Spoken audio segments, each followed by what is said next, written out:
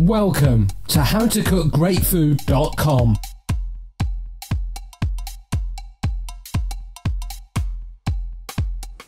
Hi, welcome to howtocookgreatfood.com. Today I'm going to be making a pea and mint soup. This soup is very, very simple to make. Let's just have a look at the ingredients. I've got at the back some onions. I generally use red onions for most of my cooking. They're just slightly stronger and uh, you need less of them. Next to that, I've got a regular packet of frozen peas. As you can see, they're still frozen. Below there, I've got a few potatoes. In my next bowl, I've got some lovely fresh mint. Now you can use, you could if you want, you could use dried mint for this. It will work. The fresh mint's just that little bit nicer. And in the center, I've simply got a knob of butter, like a tablespoon of butter, and some salt and pepper. That's it. The only other thing we're gonna add to this is water. So let's get over to the cooker. I'm gonna start cooking this delicious, very simple soup. Okay, here we go. I'm gonna just drop in my butter and my salt and pepper and straight away my onions and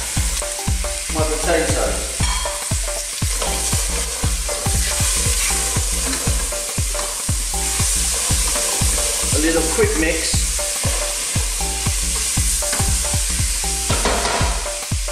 We're going straight in with our frozen peas.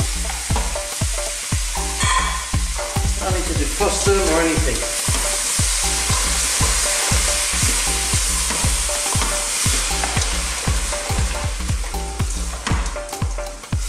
So I've got this on a medium to high heat.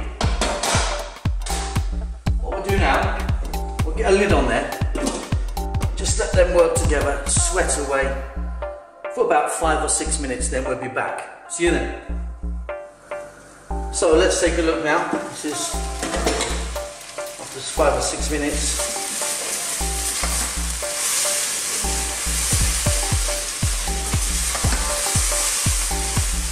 That's looking fantastic.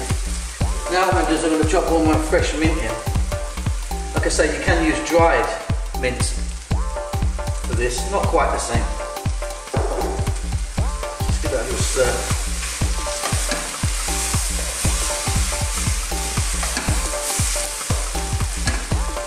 Now I'm going to drop in just some regular water. This is cold water.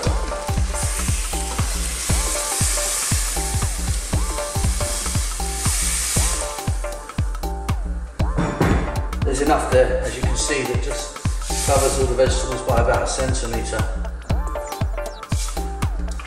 Okay, so we're going to put the lid back on, bring this to the boil, and then simmer it for I reckon about 15 minutes.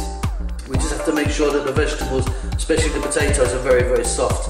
Then we can liquidize it. So I'll be back in about 15 minutes, I think. See you then. All right, let's take a look at this now.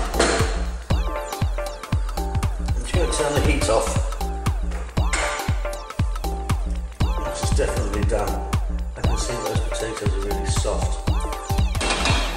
Okay, very simple. We're going to liquidize this now. I'll use one of these fellows. So let me liquidize this.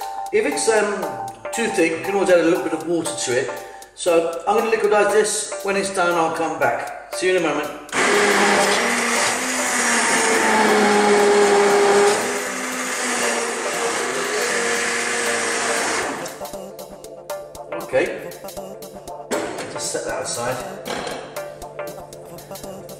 This consistency is great to me. And that's perfect.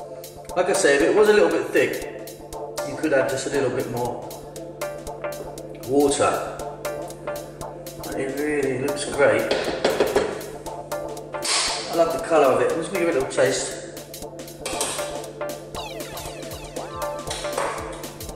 That's really beautiful. Just going to add a little touch of salt. Just a little bit more salt in there. That mint, fantastic, and then the peas are really doing their job. Okay, there's a touch of, touch of salt.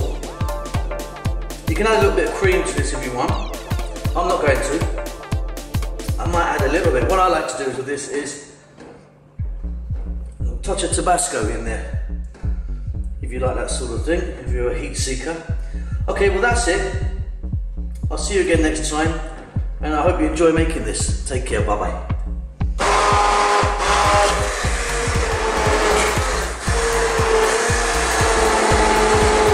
howtocookgreatfood.com. Don't forget to subscribe to our channel.